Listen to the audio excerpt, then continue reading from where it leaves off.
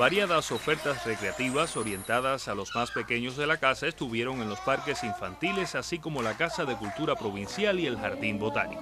Garantizamos desde acá, desde el gobierno, desde la propia Comisión de Recreación, eh, un programa de actividades que llegara a todos los públicos, específicamente potenciando el trabajo en las comunidades, esas de difícil acceso, que por la lejanía o por su situación geográfica, eh, desgraciadamente no, no cuentan de todas las posibilidades para poder eh, disfrutar de todas las atractivas opciones del verano. Destacar la ruta cultural por los caminos de Serafín, una ruta patrimonial y cultural recreativa que busca traer los niños de esas comunidades y transitarlos por todas las instituciones, los locales, eh, las actividades que se programan acá en el territorio. Estas ofertas sirvieron de colofón para un verano en el que a pesar de las dificultades eléctricas, económicas y de diversas índoles, existieron opciones recreativas para los más pequeños de casa.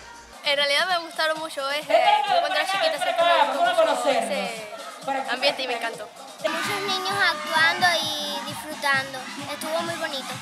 Los cursos de verano también tuvieron su fin en la Casa de Cultura Provincial, donde se pudo ver el avance de niños y jóvenes en tan solo dos meses.